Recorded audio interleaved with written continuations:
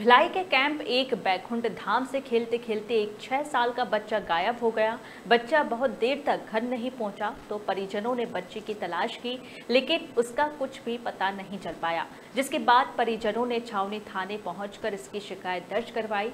बता दें कि बच्चे के लापता हुए तीन दिन हो चुके हैं, लेकिन अभी तक उसका कोई पता नहीं चल पाया है। वहीं पुलिस बच्चे की तलाश में जुट गई है।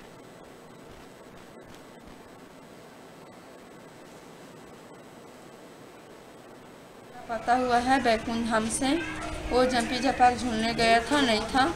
आए, मोमोस वोमोस खाए, पिए, खा पी के घर आए, और चड्डा गिलाई चड्डा पहना था, और पीला कलर का चड्डा है, और काला और नील कलर टाइप से में मेरा बच्चे का टी शर्ट है।